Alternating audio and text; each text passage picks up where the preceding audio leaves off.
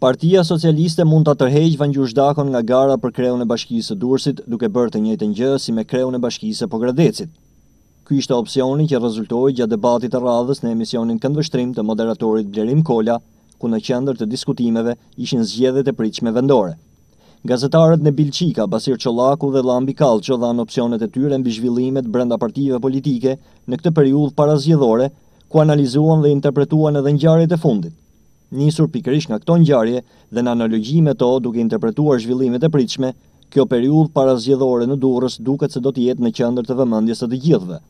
Në këndvështrimin e gazetarit Basir Çollaku nuk është për t'u përjashtuar edhe një tërheqje nga gara e kryebashkiakut aktual Vangjush Dako.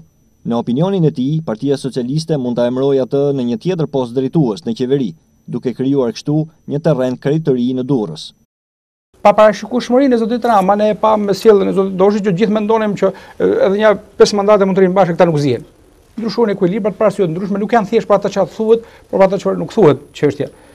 Kryebashkiaku i Pogradecit u dorëhoq gjoja për të lëshuar vendin të rinjve, Përpara se të tërhiqej ishte emëruar në Ministrinë e Pushtetit e zotit Çuçi. Edhe një mik i Zotit Rama. Edhe ai një mik i Zotit Rama. E kishte marrë një detyrë tjetër përpara se të tërhiqej.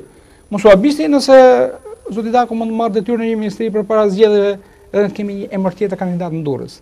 Pra, këto lëvizje politike, Rama ishte në funksion të fitores së bashkisë, apo të rregullimit të disa ekuilibreve tjerë në qendër, sepse nuk është Vetëm zoti Dako e domeni politik i Durrësit që mbase zoti Rama do të mbajë në mënyrë të vazhdueshme, po mbase për të kënaqur ca orekse të tjera politike brenda kampit, do të duhet të bëjë ndryshime.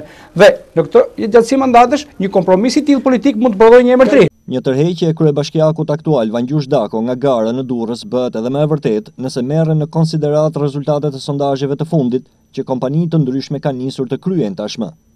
Sondazhet tregojnë se fitorja në Bashkinë e Durrësit do të anojë kah e djathta. E jo vetëm kjo, pasi një tjetër sondazh, rezultatet e të cilit u bënë edhe objekt diskutimi e debati në televizionin Adrianet në emisionin Këndvështrim, dëshmonte pakënaqësi për kandidaturën e mundshme të Dakos. Në atë sondazh, krahas emrave të kandidatëve të mundshëm të Partisë Demokratike në Durrës, ishte përfshirë edhe emri i Dakos si i vetmi kandidat i mundshëm i Partisë Socialiste. Rezultati i sondazhit dëshmonte qartë edhe faktin se e djathta do të mund ta fitojë Durrësin, nëse kandidati i saj do të vinte pikërisht nga Partia Demokratike.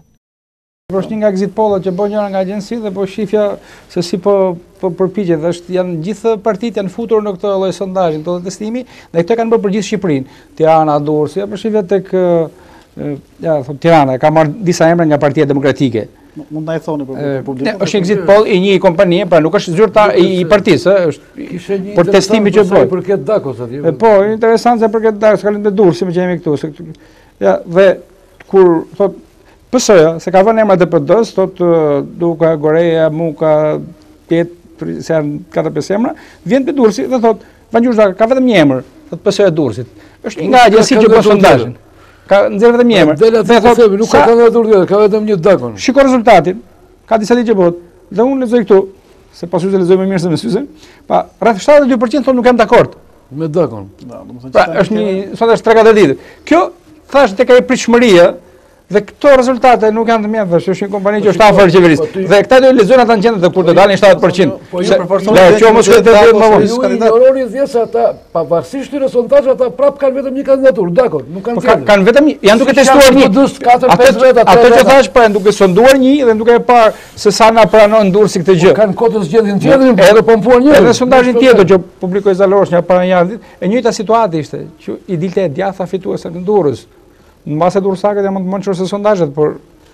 Shifrat thonë diçka. Durrsakët të djathtë janë. Janë, jo, janë më të mençur se sondazhet, thashë, sepse po e lexojnë vetë qëndrimin, e lexojnë më përpara, nuk e kanë për turp ta mbajnë këtë qëndrim disa muaj.